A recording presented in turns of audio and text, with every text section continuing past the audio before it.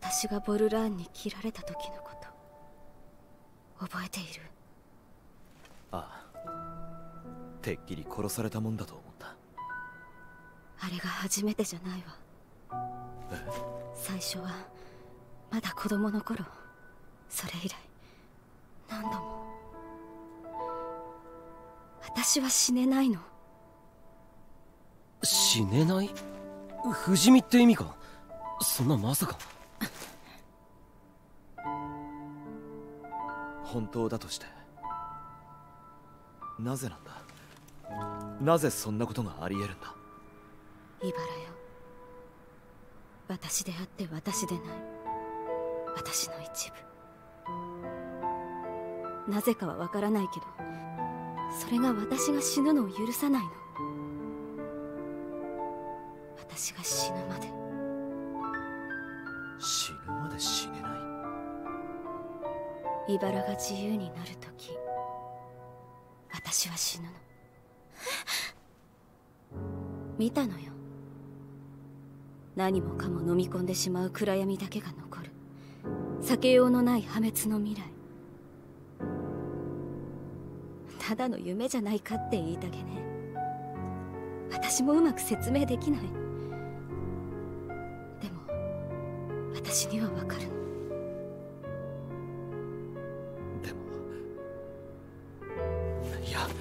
だからこそレナスアルマを使って茨を倒すんじゃなかったのか。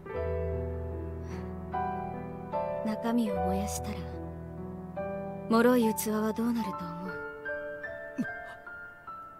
そう。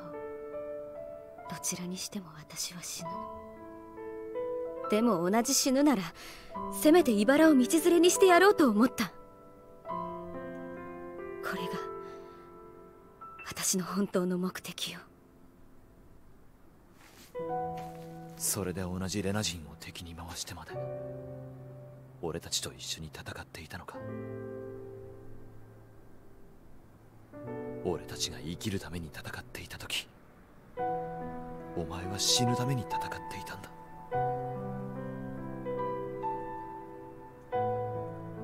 そのはずだったのにあなたたちと出会って私はいつの間にか死にたくなくなっていた。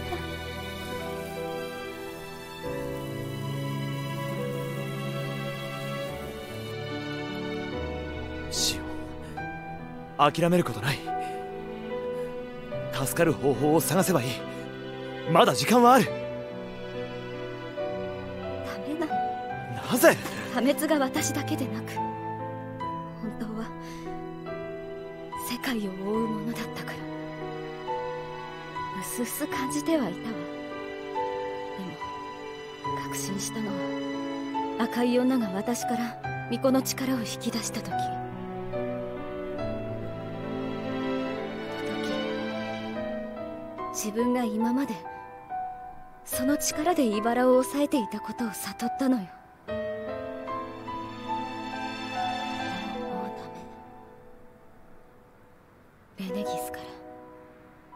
くさびが来たから。私の中で茨が力を増すのを感じるから。遠からず抑えきれなくなる日が来る。そうなれば茨が世界を覆う。か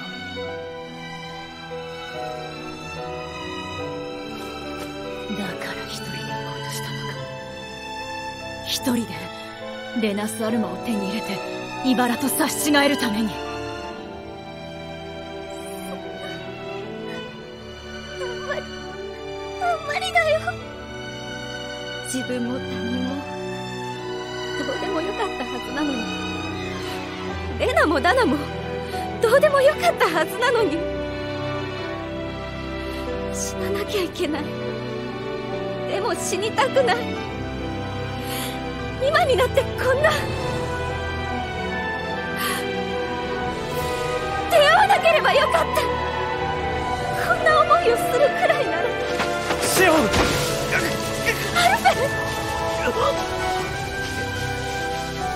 死ぬためにしか生きられないな。んてそんな奴隷みたいな生き方。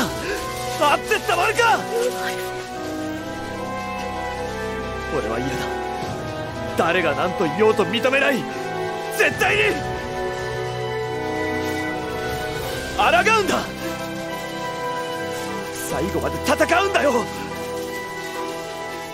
自分でもそう言ったじゃないか。そ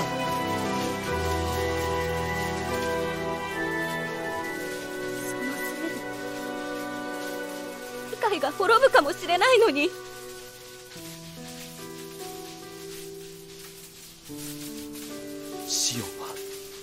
どうしたい。